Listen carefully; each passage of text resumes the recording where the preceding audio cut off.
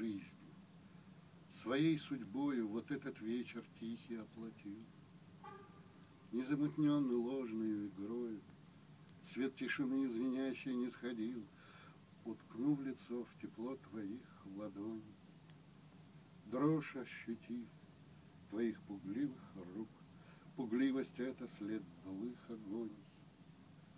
Почувствовал усталость от разлук. Кружась на каждодневной карусели, Невольный пленник глупой суеты, Все жил в потоке чувственных метелей И поисках придуманной мечты. Ее воспел и музыкой, и слов, Лепил, крушил и снова создавал, Но мой король, увы, остался голым.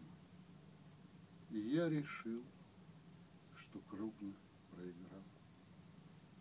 Но ви- вид... Да, но видно.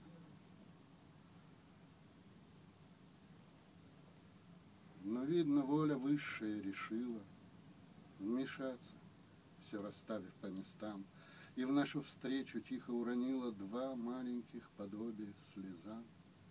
Сверкая жизни наших преломлением, они слились в душевное тепло.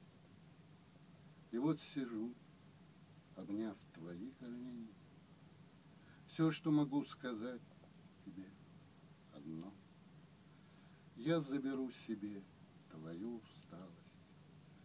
Испуг сотру стихами, дабы вновь тебе лишь брать горстями оставалось мою посеребренную любовь, что в этой настороженной квартире нашел себя, судьбу благодаря. И лучшая из женщин в этом мире отныне и до вечера.